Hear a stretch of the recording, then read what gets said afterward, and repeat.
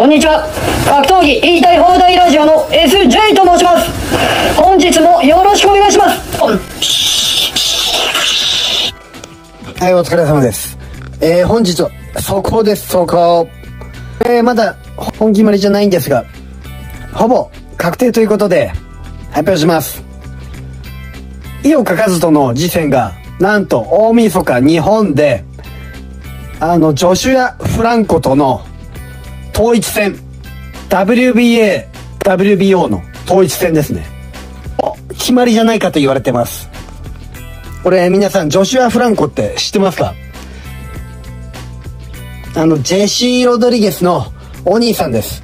ジョシュア・フランコのトレーナー。ロバート・ガルシアさんがツイッターでカミングスンこういうことをもうすぐ発表っていうことなんですよ。こういうツイートを上げました。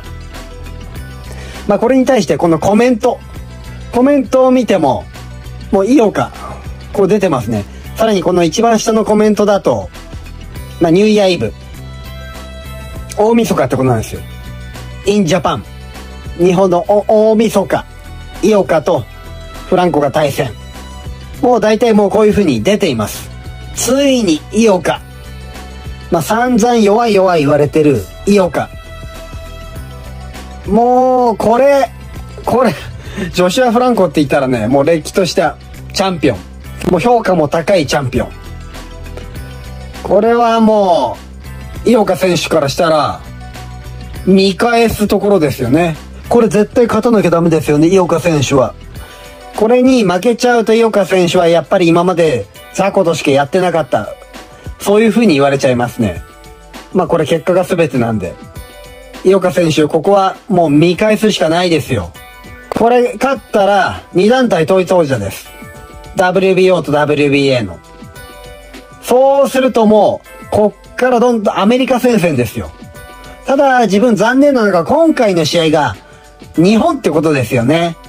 自分としてはアメリカで統一戦をやるのが見たかったです。やっぱりホームよりアウェーで取ってきてほしかった。まあそういう思いですよね。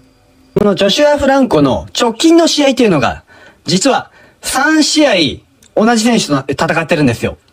あの、アンドリュー・モロニーですね。この1戦目、2020年6月に戦い、この試合12回、12ラウンド判定勝ちをしています。そして2020年の11月14日に、ラスベガスでダイレクトリマッチをしています。この試合は、フランコの右目付近が、視界が塞がるほど腫れ上がったため、3回開始直後にドクターチェックで試合が止まります。この腫れた原因っていうのは、バッティングなんですよね。だが、このモロニー陣営がヘッドバットではなく、モロニーのパンチによるものだと抗議しています。この確認作業に30分ぐらいかかってるんですよ。試合中に。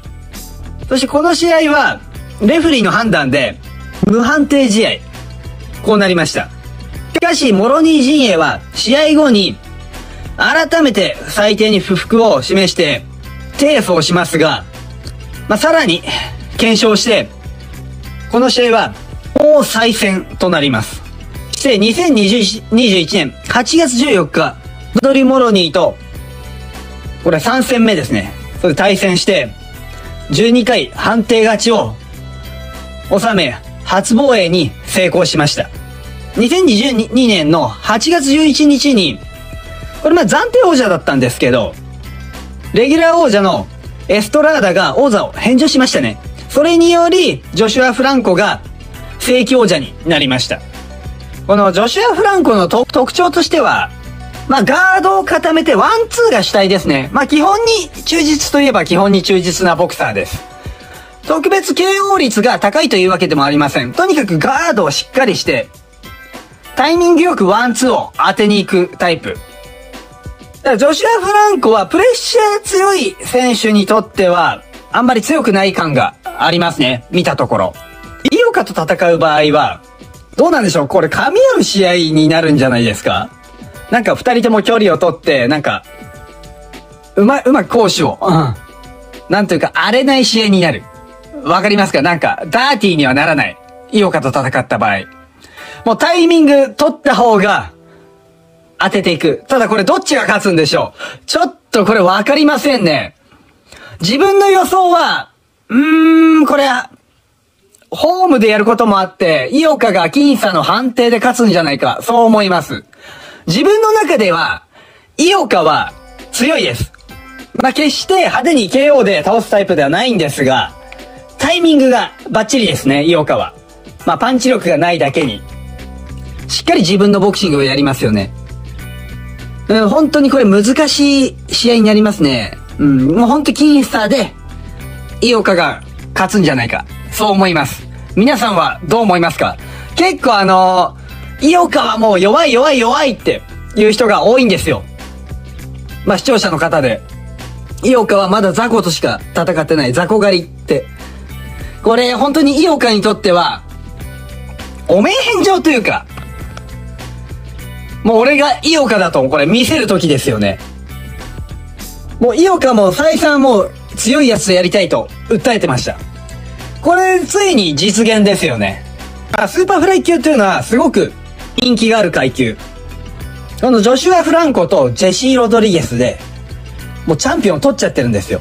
WBA がジョシュア・フランコ。WBC がジェシー・ロドリゲス。もう兄弟で2つベルトを持っちゃってるんですよ、スーパーフライ級で。いやーこれ楽しみですね。ドネアがどこに入ってくるか。あとはロマゴンですね。ロマゴンとエストラーダ。あとマルチネスが鉄壁の強さを示しましたよね。そして、中谷潤人ですよ。これが次のノンタイトル戦でおそらく勝つと思います。その場合一気にトップ戦線に浮上しますよね。ただ中谷潤人選手はフライ級のベルトを持ったままです。返上するのか。返上してスーパーフライ級来るのか。自分はスーパーフライ級行ってほしいです。いや、これは荒れますよ。非常に面白くなります。